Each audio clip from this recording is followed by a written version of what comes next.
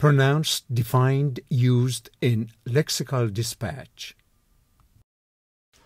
Capitulate. Verb. Capitulation. To accept military defeat. To agree to do something unwillingly.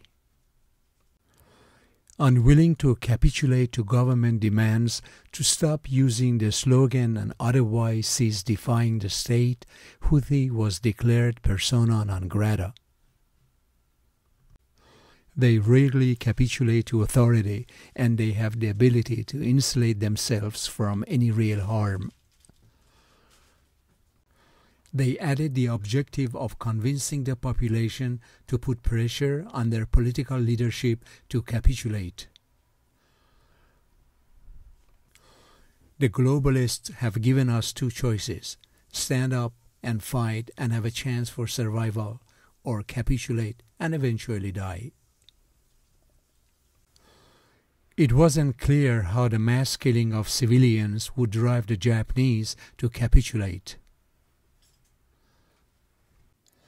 The public's anguish for the fewer than 150 lost during that campaign was counterbalanced by the apparently easy victory and the visible signs of enemy capitulation.